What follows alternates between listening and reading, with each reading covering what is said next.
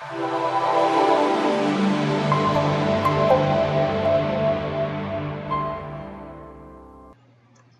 create the new scene to go,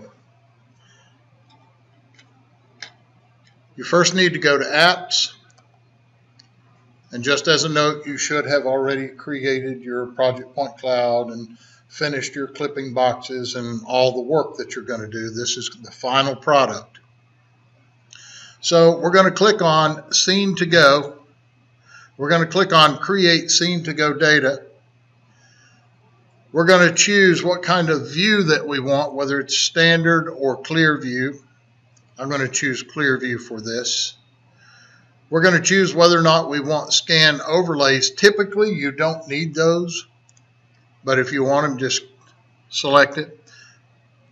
Single layer map, apply clipping boxes.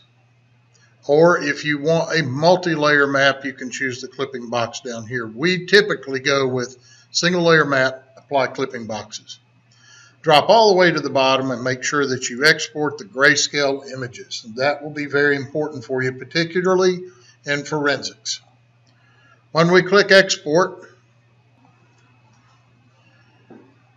it will start creating the data. And there is no difference in this and the way that we created WebShare previously, with exception that we did it from the Export tab. Now we're doing it from Scene to Go under Apps.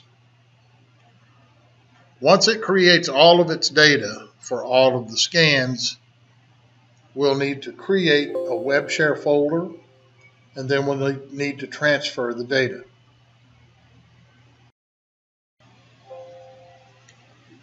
Once it successfully creates the web share, click OK, or the scene to go, I should say. Now we're going to go back into Scene, go to Project, click Path. Here we're going to create a web share folder. I'll double click on the web share folder. I'll click to the right of the word web share in the address bar. I'll right click and copy. You could also hit Control C on your keyboard. I'll return to Scene. I'll go back to the apps. I'll click on Scene to Go, the drop down, and I'll choose Transfer Scene to Go Data. I'll click on the Browse button. That's the three dots. I'll select whatever's listed in the folder and paste by either right-clicking and choosing Paste or Control-V on the keyboard. When I click OK and then click Transfer Data, this will transfer all of the WebShare data to the Scene2Go app. In theory, I should be able to open up the results by clicking on Open in Scene2Go.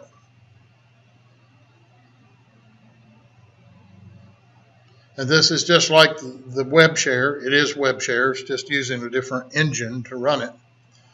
And here I can click on any scan that I want to click on and choose to view, measure, whatever I want to do. And that's it for creating the web share or the scene to go. The scene to go information is located in the Windows web share folder that you just created. It has several folders. If you want to start it on Windows, find the one that says Start Scene to Go on Windows or Mac, Start Scene to Go on Mac. If you're going to share this with someone, such as your prosecuting attorney, copy the entire folder and give them the entire folder on some media.